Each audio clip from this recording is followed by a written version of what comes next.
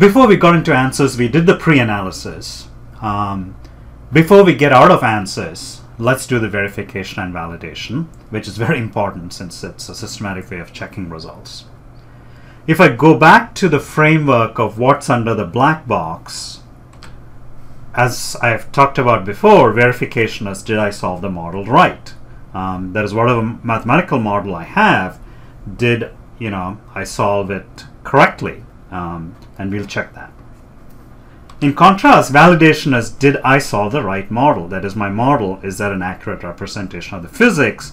Um, now, this is the Euler-Bernoulli beam theory. You know, has been used for decades, um, and one would assume that it's it's uh, you know for a cantilever beam, for example, it's a good model of the physical problem.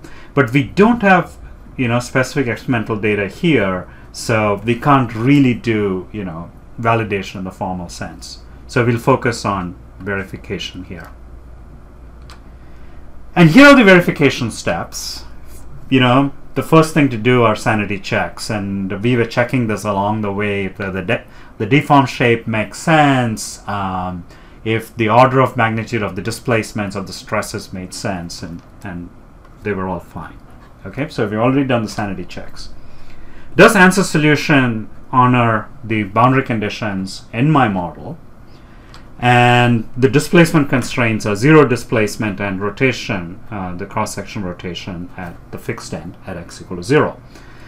This one was clear to us. This one, you know, it seemed like from the dis how the cross-section was being displayed that the rotation was zero. So, and you know, I've done other due diligence, so you might have to take my word on it that that's also the case.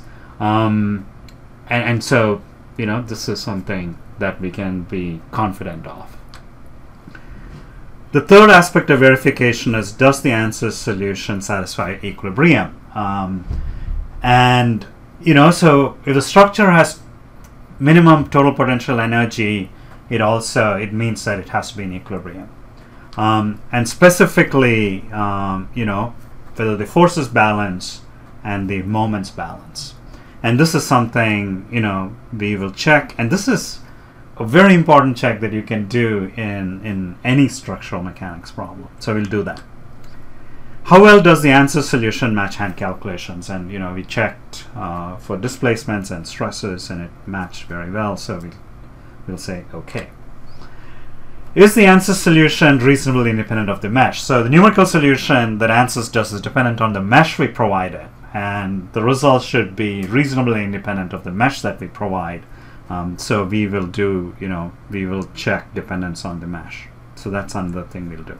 So we'll do equilibrium, um, we'll check equilibrium, and we'll check mesh dependence um, as part of verification.